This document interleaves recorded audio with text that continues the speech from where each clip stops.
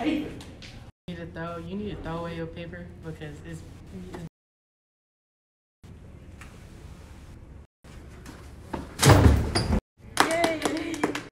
You need to stop littering because littering is bad for the environment and environmental pollution will kill our planet. I'll never litter again, man.